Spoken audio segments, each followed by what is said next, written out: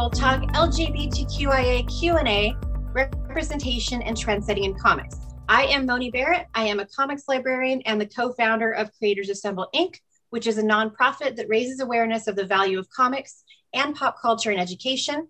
We provide support to educators who want to use these materials in educational settings and facilitate connections and resources to help creators find professional opportunities in this space. But more importantly, we have our guest here today, Tina Horn and Grace Ellis, to talk to us about representation in comics and what the trends are going to be and what's next for the profession and so on. So I'd like to give you both a chance to introduce yourselves, tell us uh, what where the audience might know you from, and anything else. If there's if there's some kind of semi-personal, silly thing you want to say, let us know. Starting with Grace, want to go first? I was gonna I was gonna offer to throw it to Tina first. You always polite. okay. Um, my name is Grace Ellis. Uh, I brought I have I have my books as well. Um, so I you might recognize me from Lumberjanes, the writer and co-creator of Lumberjanes, or Moonstruck from Image Comics. I've also done some work for DC, including a Batwoman story that's running digitally right now and will be released physically probably oh. by the oh. time you see this. Um, but it's very fun, very gay. My the fun fact that I always like to throw out is that um, I a couple years ago saw ten different productions of high, from high schools only doing Mamma Mia. Oh, how fun! so that that's a good way to spend time. If, if I I agree, um, and I feel like that pretty much sums up everything about me.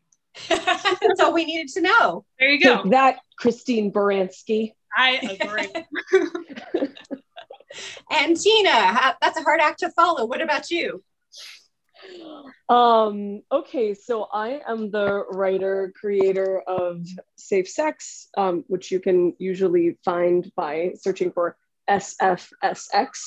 And um, this is a first book. Uh, it came out uh, in 2019 from Image Comics, and we are hard at work on the second volume. Oh, this one is called Safe Sex Protection.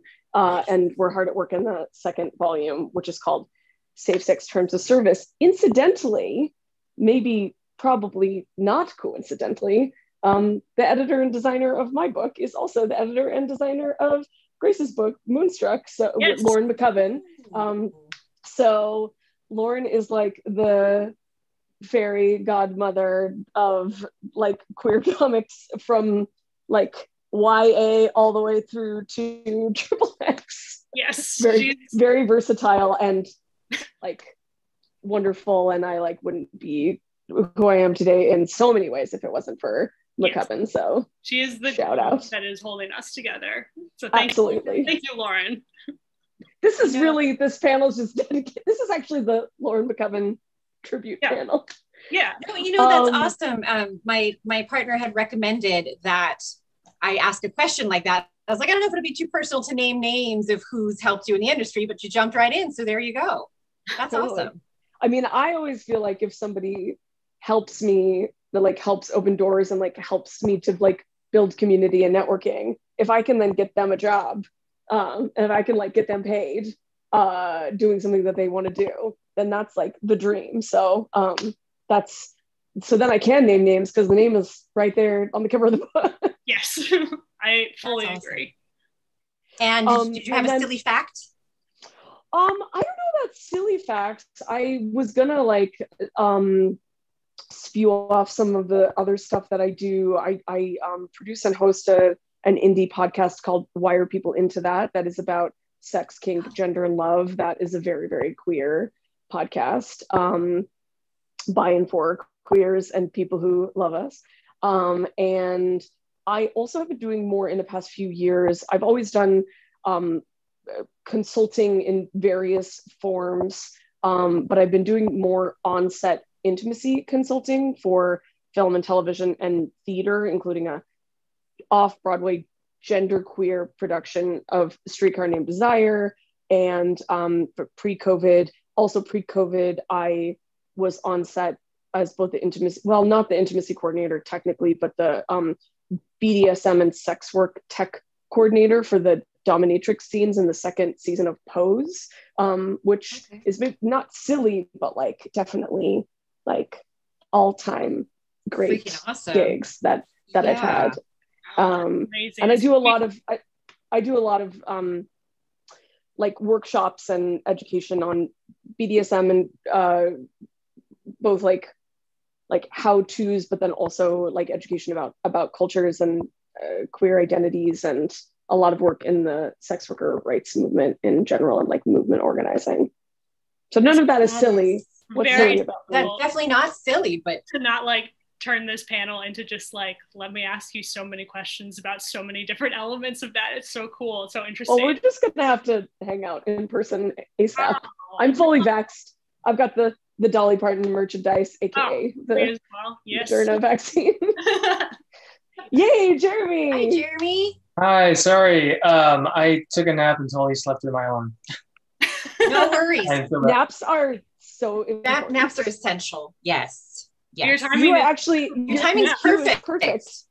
We're Oh, doing great. introductions, including where we would know you from and uh, anything that you want the audience to know, whether it be a silly fact or a fascinating fact, as Tina gave us. Uh, where people would know me from. Uh, I don't have an answer for that. Um, yeah.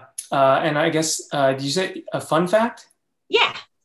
Um, I am an identical triplet. Really? Yeah.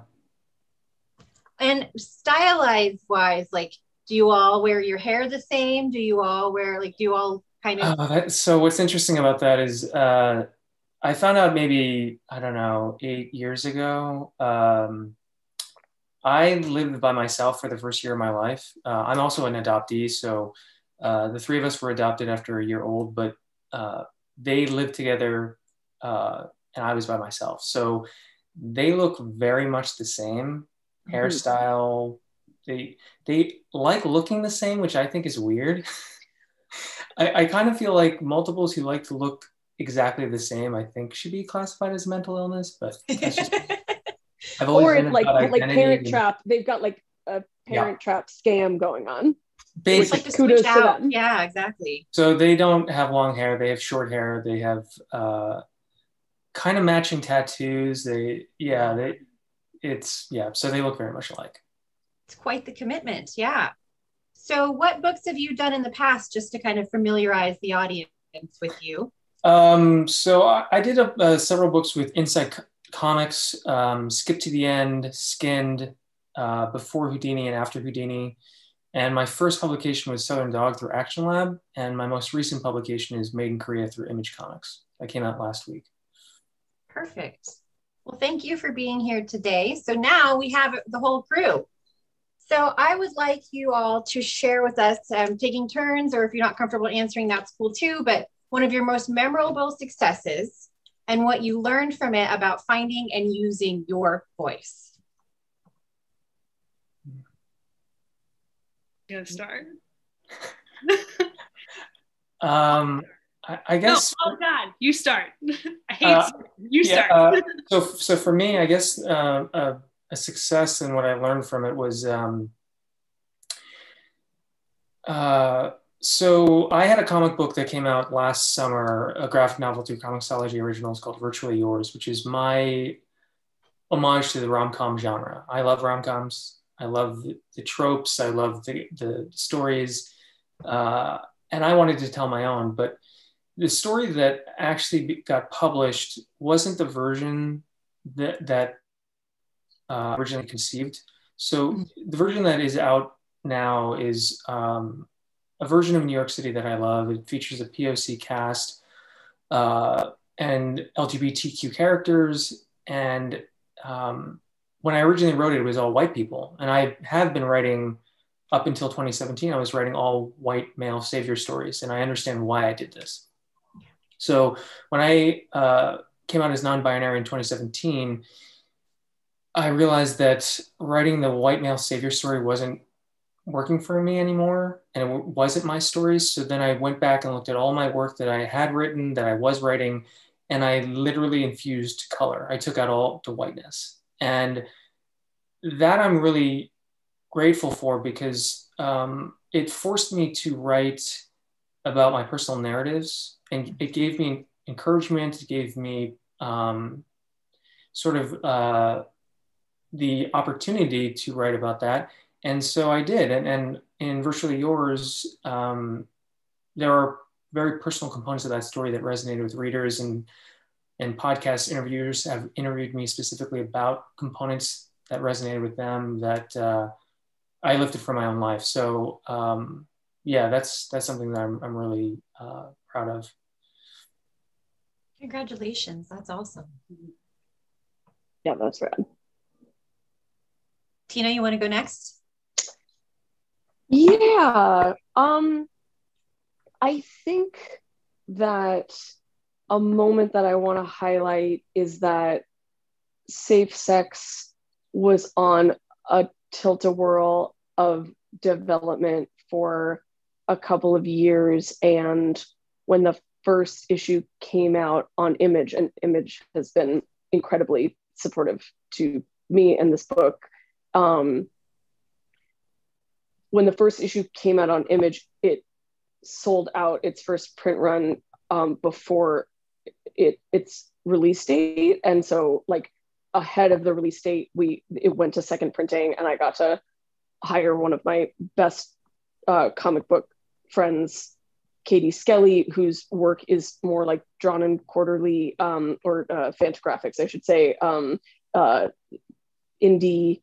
Um, so like not quite right for this like kind of more like action adventure story, but then I got to hire her to do a variant cover, and then you know we had the issue release at Bluestockings, which is a queer and sex worker run uh, collective bookstore now collectively uh, owned and run um, bookstore in the lower east side where i used to you know when i when i didn't even live in new york when i would be visiting new york i, I would like take my little zines there and like consign them and like make five bucks and uh you know that's been my like the most like my favorite but also kind of like the most like important bookstore and community space in my whole life and i'm so glad that they are like growing and thriving through the pandemic. And so this was in the the old space and they've they've recently moved but you know just like seeing like so much of my community being like uh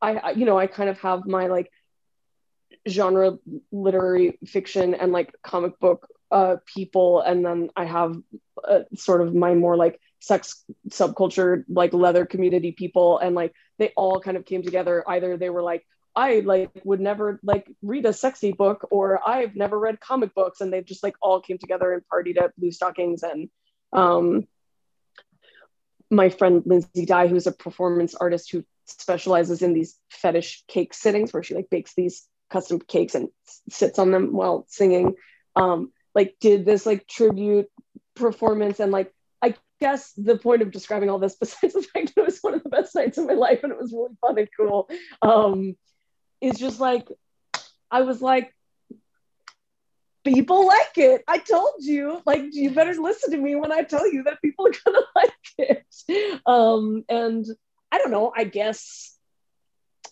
I I have a lot of like brazen confidence to like do things to DIY things and do it my way, but you know, you encounter barriers you encounter disappointments you encounter setbacks and um you know despair is like always like nipping at your heels. So um to have that moment I, I feel like i return to that moment of like jubilation and like community celebration a lot when i'm feeling like can i keep doing it? And it's like yeah like because i gotta give the people what they want. And i love that too. And grace. Two two follow-ups. Tina what was the name of that shop? It was Bluestockings, right? Bluestockings, yeah. Okay, I just wanted to make sure that it was like very. I wrote it down, but I want to make sure that everyone like knows what you're talking about. Um, Blue, Stockings Bluestockings bookstore in New York City, and they also have an online store, and they're just great, great folks to follow and visit and patronize. Yeah. Um, okay, so I think that you really tapped into like the whole thing, right? Which is like when you make anything, the goal is to like make something that people are going to respond to and ideally like bring a community together around that. Mm. um, before lumberjanes was released um, we were releasing it at emerald city comic-con and we had no idea like what it was going to be. There wasn't a lot out there like it at the time.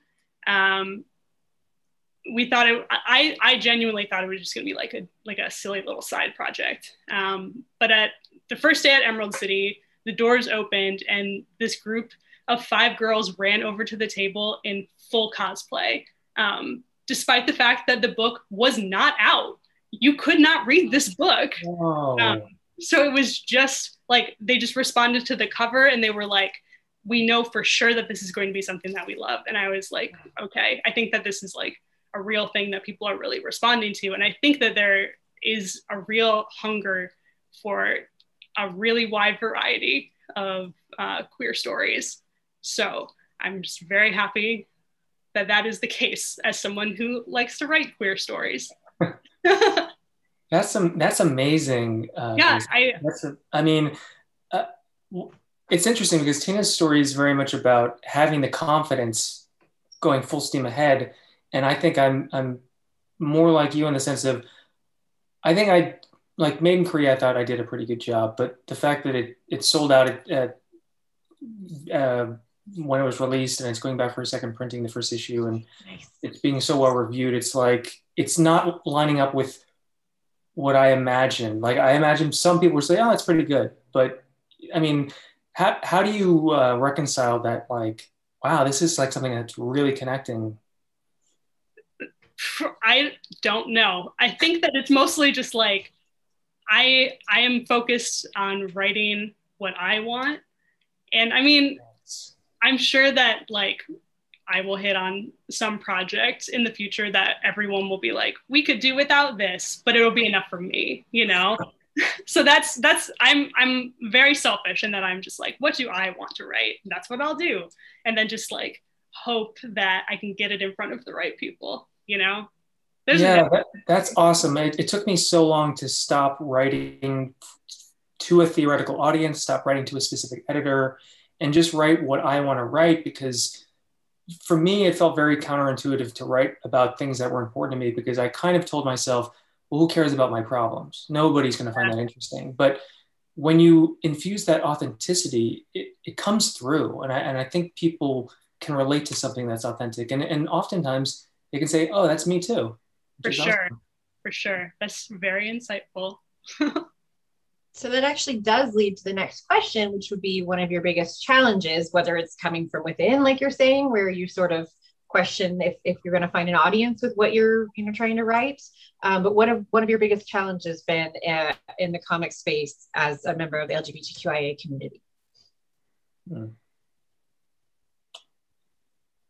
um, for me it's it it wasn't so much the LGBTQIA space specifically, um, mm.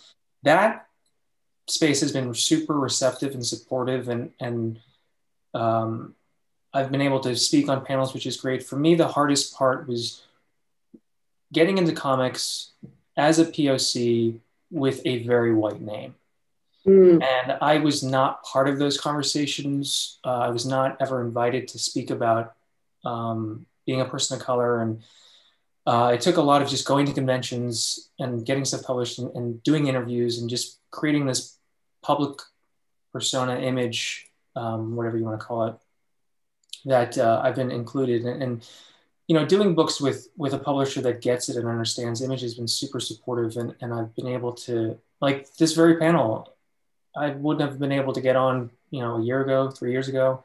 So um, I do think it's also important to go with a publisher that not only believes in the work, but believes in the people behind the work.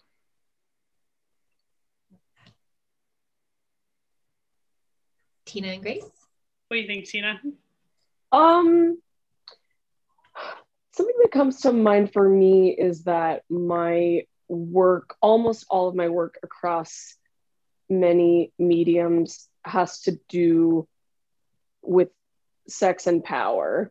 And whenever possible, I'm invested in being as explicit and adult as possible because that's just like who I am and how I am and what I'm interested in as a as a creator and in, in nonfiction as as well. Uh, and so investigating uh, the explicit. And so like all of my work is is uh, like airs on the side of like how explicit can I be? And like I can do work that is not X rated like if somebody can like draw the parameters of like this is what you can do and this is what you can't do and i'm like that's cool i can show fisting somewhere else and i have and i will continue to um but i've had i've had issues and i won't name any names both because i don't need to like call anybody to the mat and also because part of what i want to talk about is the way that sexual censorship especially sexual censorship of any marginalized identities particularly queer sexual identities is institutional and like is not just like one bad actor or even like one particular company but is just like baked into um, the infrastructure of so many things in arts and entertainment. So like there are things that i wanted to show in safe sex volume one protection that apps that are the opposite of gratuitous that are like absolutely about like the characters inner lives and their arcs and their relationships and the plot and the aesthetics and like everything else about it and like everything about the project from the beginning was like this is for mature readers this is for mature readers. And i encountered people uh, like uh, i've encountered various people at various uh, levels being like okay well you can't show this. And i'm like well like but why? Like can you tell me why? And nobody can say why because and i feel pretty um uh qualified to say that people feel uncomfortable and they don't want to admit that they're uncomfortable. Anyway it's a whole big thing and a lot of my work is about also like it, like poking at that and exposing it. But like something that i look you know so i would i would like uh, go to my comic book shelf and like pick out like books that like publishers had published and been like like okay keep like taking aside the fact that like this person's balls are being like blown off with a shotgun like that you know okay that's that's fine. We could show that that's fine but then i would be like so see this is this is sex between people and they would they nobody would be able to like show why that like explain to me why that was okay but like what i wanted to show in terms of bdsm in terms of trans and non-binary bodies in terms of group sex in terms of like cultural sex um uh in terms of non P and the V sex uh, was like not acceptable. Um, and, you know, I kind of like learning to think because I'm a writer and I'm like learning to think visually. And I really sort of started to identify that there's this kind of like silhouette of like cis het missionary sex that it like as long as it's like obscured by like a you know a, a, lamp you know in the like eyes wide shut way or or is like in shadow or there's like mystical swirling like happening around it because it's comics like that that's okay to show and that's not considered obscene because it's kind of like that like silhouette of like a naked babe on the on the like mud flap of a of a car it's like mm-hmm. well that's not a naked body that's like an icon that represents a naked body and so this like uh-huh. particular kind of sex as long as it's like silhouette is not obscene but even if i'm not actually like showing the penetration or i'm not showing nudity like people see representations of sex that they like maybe don't understand or are threatened by um uh and they like don't know how to make it into this like pg-13 like iconic like representation. Um and then they're like well you just can't we don't even want to figure it out. We just you just can't show that. Um and that is part of how queer people don't see like sex or love or community or culture like represented in their fiction. So that's something that I'm really trying to change. And again, like a lot of the people that I work with now are very supportive of that, whether they just are supportive of what like the project that we're trying to do and they trust us, or they specifically are like, yes, let's get more. We trust you to put more queer representation out there that like people want to see or don't even know that they want to see until they see it kicking down those doors. Yes. And Grace? Um, weirdly, I can absolutely relate to that. Um, so, Lumberjanes, often classified as a teen book, I think that's a little silly. Um, mm. It's it's too young. It's too young to be a teen book, and it's classified that way because of the LGBT characters. Moonstruck is a teen book for sure, and the yeah. you can't you can't read those two books side by side and tell me that they're the same audience. You know, um, I think Image being very supportive has a lot to do with that, and I just want to like really echo like Image is like the place to be. Um, so like basically, you're saying that like Lumberjanes just by necessity of being like having queer characters yes. like is more obscene and more mature. Absolutely. Yeah even right. if there's no yeah well, like even if it's not what's kids, being depicted. right. Yeah. Um, you'll notice that lumberjanes well we are adults um, so we probably won't notice but lumberjanes is isn't at book fairs um, because of the lgbt characters. Um, oh. and that's just kind of what it's going to be right now. Um, i don't really know what to do with that except just keep doing what we're doing and saying that that is wrong. I've I went to this um, school one time, and this girl had invited me. The student had invited me, um, and I like walked in the door, and she met me there, and she was like, "Hey, this is our librarian, Mrs. Whatever." And she thinks Lumberjanes is a teen book. And then she walked away. So I was like, my introduction to this school was like, please have this argument with my librarian. And I was like, thank you so much. Um, wow. But that's I mean, that's like definitely a very particular LGBT issue. Um, the other one that I wanted to say is that um, all three of our books are very, very different. Um, and they're about very, very different things. We're approaching things from very different angles, but they're all LGBTQ books. Mm-hmm. Um, and I think that that's really important that there are so many books um, because there's such a wide variety of experiences. And I think that a lot of the times, because there aren't a ton of LGBTQ books, um, readers expect every LGBT book to be everything to mm-hmm. every person. Um, and that's just not possible. I mean, the the queer community is so it's so varied um, that there's just there's just no way that one thing can be everything to every person. So you just have to focus on the story that you want to tell and hope that it resonates with people um, and do what you can to support everyone else in doing the same in writing their stories. Um, and that yeah. i think that's also like real particular to us. Yeah i totally agree. I, I think that with more queer stories it's it, to me it makes me think of queer stories or queer people to me are similar to Asian people where it's viewed as kind of like a monolith and it's like they were just this there's a spectrum to everything. And this is something I'm realizing as I get older. It doesn't matter it's there's spectrums with good things there's spectrums with bad things. Um, recently I've been kind of unpacking this thought of racism being on a spectrum which I'd never considered but I think we all have internalized blank. Doesn't matter what it is because we've been raised in a heteronormative society. Um, and yeah, I think just having more stories exposing the truth that there's so many facets to kind of look at all of this and there's so many opportunities to look at it from a very specific point of view to kind of say this is one way to look at it. This isn't the only way but look there's another way. And they're all kind of looking at this from a different angle but that it's all informative and inclusive I just wanted to jump in real quick about challenges. So, my background, and Jeremy, before you came in, I was a librarian, public librarian for 16 years, and I am the current president elect for ALA's Graphic Novel and Comics Roundtable. Um, so, just with that, I've heard a lot of the challenges and been on the front line of a lot of the challenges. And I'll tell you, like Lumberjanes specifically, you were absolutely right, Grace, which you already know, but um, trying to get it categorized as like a teen book. And it's like, no, I've read it. It's not a teen book. Like that's, it's not moving. And I like to ask people like, why, why would you suggest that we move that up? You know, because people aren't usually, usually, and things like, um, I would love, I would love to be in a public library right now because I would, I would buy uh, your book, Tina, and put it on the shelf and face it outward because that was the one envelope. I would put it in the adult area, but things like sex criminals, for instance, and mm-hmm. actually like face it outward like they do in a bookstore.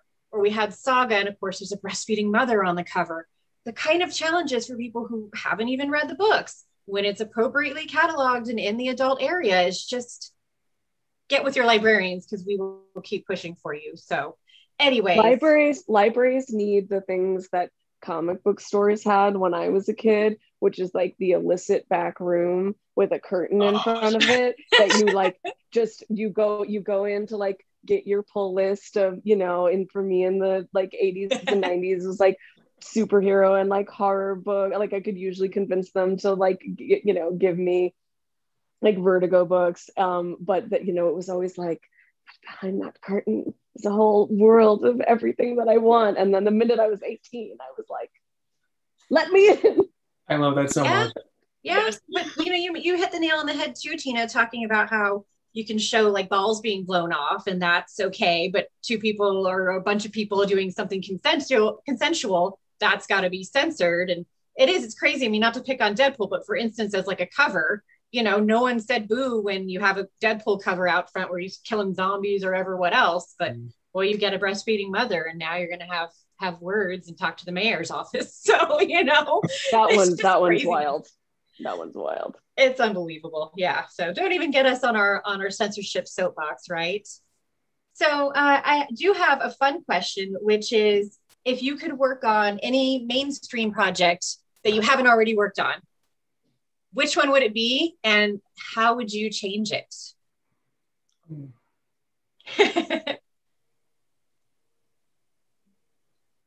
Uh, I have a quick one. I've already mentioned Vertigo. I totally grew up on Vertigo, and uh, because I'm a long time uh, fan of, uh, like in particular, that era of comics, I know for a fact that John Constantine, who was created by Alan Moore and originated in Swamp Thing, is canonically bisexual. So I would really, really, really love to write a like Constantine or Swamp Thing, like Hellblazer saga where that like is not just like oh here's like a little gag where constantine's cool with a threesome. It's like no no no. We're gonna we're gonna totally we're gonna go there. We're gonna tell the most bisexual like mystic detective story ever told. So that's that's my pitch for anyone anyone listening. You heard it here folks. She's available. I don't think I have anything in particular. I think I, I've always wanted to write a Jubilee story, but I, I haven't kept up with mainstream comics in so long that mm-hmm. I mentioned this to a friend and, and he sent me all this stuff about the current run on Jubilee. And I, I was like, wait, she's a vampire? What? She has a daughter who turns into a dragon? What? Like, I'm Right, right. confused.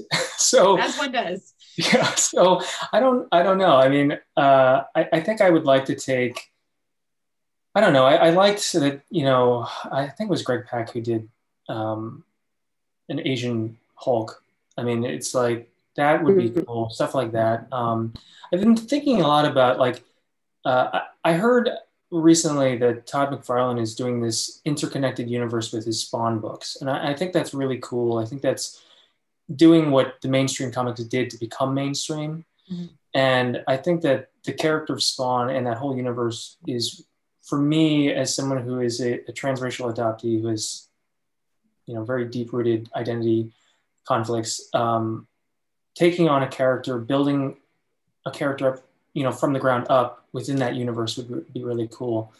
Um, so yeah, that's something I've been thinking about recently. That's much more thoughtful than the answer I was going to give. Um, have fun with it so I I have a I always have a list of like things I would like to adapt. Um, and I think the like most ambitious thing on that list is I would love to get my hands on Red Dead Redemption. Any anything they want, I I would do it. I would do it. I would drop everything to do that. Um, and that will never happen. And one of the reasons that will never happen is because it is impossible to imagine them giving the project to a woman. It's impossible for me to imagine them Mm. doing that. Just because like the community of people that play that game and are like invested in those characters would say no immediately to it. Um, but I I have so many ideas. I think it's such a rich world and such a rich universe. Ah, I love Red Dead Redemption. It's so good. Oh my god. So to kind of piggyback off what you just said, Grace, I actually am writing. I've been writing, and my my my agent's been has the the pitch out on submission. But I, I basically took uh, The Great Gatsby, and I contemporized it. I infused an entire POC cast with, you know, an LGBTQ twist to the romance. Um, because I read Gatsby a couple years ago, and I just thought of a of a modern YA retelling of it. Um, and so that's oh my god, is he a tech bro? He so the the Gatsby character is I don't know. This might be a bit bit of a spoiler. I've I've kept the relationships intact. I've, I've altered some things. So like the the gas station attendant and his wife, I think Myrtle in the book. Um, I've changed that relationship to be a brother and sister because it's a younger characters. So the, the brother actually is a high ranking member of MS-13. So there's a gang component to it because there is a, a serious stronghold of MS-13 gang members in Long Island. Um, and the Gatsby character does have a social media company that they believe is where his fortune comes from, but he actually has something else. I've made him a modern day bootlegger. Um, so I'll kind of leave that vague. But, um, you know, the, the Nick Carraway character is um, a Chinese uh, citizen who's coming from Singapore to stay with his Chinese American cousin in Long Island to acclimate to the American lifestyle before he goes off to Columbia in the fall. So he's not used to this opulent wealth that his uh, American cousin uh, has lived within. Um, and so, yeah, so I'm just kind of taking all the things I liked about the source material and updating it, making it interesting to me. That's awesome. Two tickets, please. Yeah, like, all take of all my money. and if you make that clear, what it, what it's supposed to be like on the cover or somewhere in the marketing, you take all the librarians and teachers' money too, because that's one of the number one things we get asked for is adaptations of Gatsby. So, yeah, I'm yeah. surprised that um, I, I I saw that there was a publisher that has done a direct adaptation. I, I think I think it was Simon and Schuster. Someone else did a direct adaptation last year, and I, I, I look at these books and I go, but why? Like, we yeah. know. Why do we need a graphic novel version of this? Yeah. Um, and yeah, I think the cover would be would be the biggest hurdle uh, for me right now because I uh, I've I've talked about a cover idea with with uh, my my co-creator, but um, I think I want to kind of go design heavy with it. So I've been talking about it with my book designer and just because we are in the 20s and I think it could be an interesting way to kind of bring that back. Um, but I don't want to like try to remix uh, that that uh, that style, but maybe just you know respect it and, and pay pay homage to it. But um, yeah, I just think it would be really cool. And I, I did read in USA Today when one domain that the great great great granddaughter of Fitzgerald wanted to see someone take the story and, and feature POC characters. And I was just like, I sent that to my agent. I said, I'm doing this. We're doing it. you so. get their endorsement. That's huge. Yeah, that would be amazing. Mm-hmm. Fine. So we're wrapping up with the last few questions here, but what can folks outside of the LGBTQIA community or non-POC folks do to be true advocates and what's something you wish that everyone knew? Just give us your money. Peel it off. I love it. Yeah, money, uh, money, resources, jobs, gigs, and, and then like listen to us when we're like, also you should hire this person. Love it. That's it. what we need. I don't know about you guys. That's what I need. Yeah. Yeah.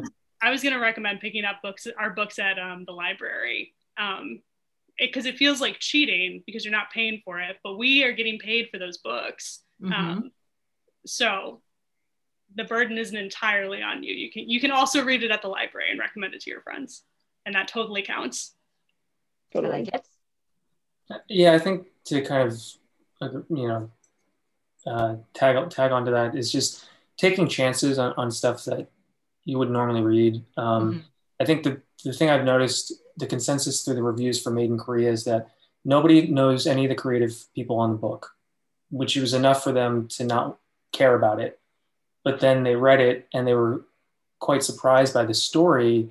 And, uh, you know, that, that's, I mean, just take a chance. Don't, don't get so, you know, I, I get it because some people have a limited income and they can only spend X amount of dollars on, on comics and comics have gotten exceedingly more expensive Um, but I, I think that you know it's single issues are really difficult for me because it's it's hard to kind of promote a book in chapters. Like you can't really say read this. It's like well read the beginning of this. Okay. Um, but at the same time, there is something about doing a, a number one issue that really instantly gets people to want to read it, regardless of what it is. I think if Made in Korea had come out as, as a graphic novel or trade, I don't think it would have had as many readers, to be honest. Um, so I, I, think that, uh, yeah, just just take a chance on something that you you look at and go, oh, I don't know what that is, and maybe lead with that, lean into that. Honestly, I feel like we could spend an entire panel just talking about the comics industry and how mm-hmm. like just that part of it, just like how like how do you make these decisions on how to distribute it? And what are the advantages and, dis- and disadvantages? The like distribution model in the comics industry is such a nightmare and it really really works against you in many many ways. Nobody yeah like explaining the final quarter the final order cutoff to to my family i was just like eh, forget it. I, am you're not going to understand what the, and it even sounds weird to explain. It's like someone described it to me once like okay, say there's a, a, series of movies coming out, like a, like Lord of the Rings, right? Well, you need to buy the first ticket if you want to see the movie, which makes sense. But you got to buy it in advance, and if you want to see the next one, you got to buy that in advance, and the next one after that in advance. So you're buying tickets for something you haven't even seen, and you don't know if you're even going to like. So it's yeah, it's it's a it's a challenge for sure. So actually, you're you're hitting the nail on on one of the the heart of the thing that Creators Assemble does, which is advocate for aspiring creators, help connect them to paying gigs, help connect them into networking opportunities and to one another. So this is a question we asked of all of our panelists and any of all of you are also welcome back to have that conversation at length. But what advice would you give particularly to aspiring creators, whether they're writers, illustrators, or whatnot, um, who would like to get noticed and make a living in the comic space? Hmm. Uh, making a living is the tricky part. Um, uh, I, I, think the important thing for any creative person, and this applies to comics, is it's really important and it's almost paramount to move your goalposts. Like, do not set your sights on one goal. My goal for a long time was to become a full time writer. When that didn't happen, I wanted to quit. I quit multiple times. And the one rule with being creative is you can't quit. Like if you quit, other people move on past you. So the only way that I didn't quit and I, and I still was excited about the work, about the creative process, is I stopped thinking I needed to write full time. Once I moved that goalpost and I just need to keep making more books was the new goal.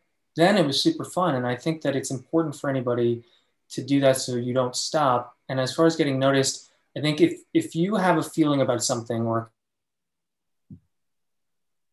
you uncomfortable, lean into that those those seeds are the ones that are going to really take roots and are really going to grow and people are going to notice. Um, because if, if you don't you know it sometimes the product ends up coming out like you try too hard or you just miss the mark. But if you if you're true to yourself um, it, it resonates. And i think everybody on this panel has had that, that experience of writing something and then a reader coming to them and you're like wow it really touched them. I mean the idea of someone coming up to me dressed as a character i created that would be just wild. so. Um, my my advice for creators in really any medium is to come up with an idea for a project that has a lot for you to chew on and explore and set a a manageable goal and this is kind of piggybacking off of what jeremy was saying like set a manageable goal and then stay consistent with it over time. So like with my podcast i was told by many people that if i ever wanted to make advertising revenue or like build a like patreon community with it that i like had to put out episodes once a week and i just knew that i didn't have the capacity to do that. So i was like i'm gonna like feel really good about the episode that i put out once a month. Um and did like did that for years and then there would be times when i like had the capacity because of other things that i had going on in my hustle to like do more frequent episodes or like uh, less frequent episodes. Um but being able to do it consistently over many many years like makes me feel like it's doing what i want it to be doing and like connecting with people. And so i feel like there are so many platforms for that for you to like make your work and put it out there and like build an audience. And i think that like you have to be like i know we were talking earlier about like confidence or like wondering like people like the thing that I do, but uh, like I personally feel like you got to be your own number one fan, and, and part of it is like coming from punk culture and like this quote attributed to Richard Hell that like if you're not in your own favorite band, then what are you even doing? And uh, like I, I, I really do feel that way. So I feel like especially if you're indie, especially if you're doing it yourself, like um, build it build it slowly and consistently over uh, time and it might take a long time. So have something that you can depend on to make ends meet uh, in the meantime and sooner or later you'll get there. Those are very very solid pieces of advice from both of you. You stole several things that i was going to say so that's great. Um, you get for going last see? Yeah i know i know. I'm paying for it every time. Um, not learning either. Um, so I think that my piece of advice that I'll give, because we're all writers on this panel, um, which is pretty unique for a comics panel. Um, yeah. My piece of advice would be if you are doing any comics writing, including if you're an artist who is scripting your own comics, um, in addition to reading comics, like finished comics, um, read some scripts, um, like play scripts. There are some like it's hard to get your hands on like actual comic scripts, but they're out there. Um, but I think that writing a script is a unique skill unto itself. Um, mm. And I think that the more scripts you're reading, the more you like start to internalize the the tricks of doing that. Um, so that's my piece of advice: is read some scripts and do your best, and that's all you can do. You know, that's, that's such great advice, and, and that's exactly what I did when I started out. Was I was able to find scripts from Jason Aaron and Joshua Dysart they had them up on their websites, and formats are very different in comics, which is interesting. Like it's not like screenwriting. Uh, the format usually you will never see it. The only people who see it are the writer, the artist, and maybe an editor.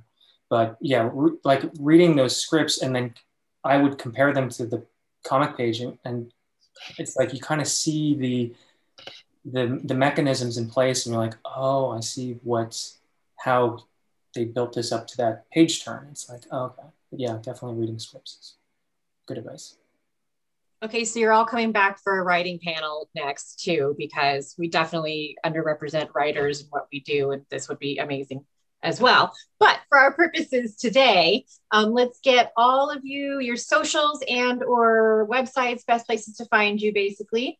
And also, if you have anything that you want to plug, it doesn't have to be comics related or teasers for anything upcoming share them with us. And I think we should make Grace go first this time. What do you guys think? I'm happy to go first this time. I mean, this is the easiest part. Sorry, my light, the, the sun has started coming directly into my. Oh, that's why it's so crazy. Noticing it's, like a storm passing here now. Um, so my, you can find me on social media at Grace C Ellis. C is my middle initial, stands for comics. Um, s- sorry. Um, my website is ohheygraceellis.com. Um, I think my next big project coming out is a Patricia Highsmith biography comic. It's coming out in February of next year. It's it's a wild one. Nice. I'm excited for it. That's awesome. Oh, I'm excited for that too. Tina, while you're on, why why not? So my website is tinahorn.net. That's T I N A H O R N. And uh, there you can find out uh, uh, articles that I have written in, more about the books that I've written and edited, the nonfiction books that I've written and edited, and the workshops that I offer both in person and increasingly online because public space is all online now. Um, and more about my like consulting and coaching work, more about my website, Why Are People Into That, which you can find wherever you pod. And you can buy Safe Sex Volume 1 Protection wherever a fine books and comic books are sold. I certainly recommend that you either go to your local library or patronize your local book or comic book store. Um, I always recommend Bluestockings, like I was talking about earlier. Um, they are in New York City, but they uh, ship everywhere in America. And we are, we meaning the Safe Sex art team, uh, ran a successful Kickstarter uh, a couple of months ago, and that was also really actually a great like a triumph to see like lots of people rallying around the book and like wanting more. Um, uh, so uh, with the budget that we got from that, we are working hard on safe sex terms of service, which is about it's just a continuation of the same characters and story and world from safe sex protection. Um, but the big bads uh, of this book deal more with incels and sex robots. So mm. that's that is all I will say for now on that. And that is going to be out from Image in the fall. And you can find out more about that on uh, tinahorn.net or following me on Twitter and Instagram at T I N A H R N S A S S. Oh, that's exciting. Um, mine's pretty easy. It's just Jeremy Holt Books across the board. All social media. My website is jeremyholtbooks.com. And uh, I have my first prose novel coming out. Uh, I don't have a release date for it yet, but um, I've been told either in the winter or the spring of, of 2022. Cool. Yes, this has been amazing. Thank you all so much for being part of this. And I uh, just want to give a quick plug for Creators Assemble. You can visit us at creatorsassemble.org, check out our Limelight galleries of all the talent there, discover new creators that are available for commissions, and see our upcoming events and our educational resources for using comics in your classrooms and libraries. So, with that, thank you again. You guys have been lovely. Thank you for having us. Yeah, thanks for having us.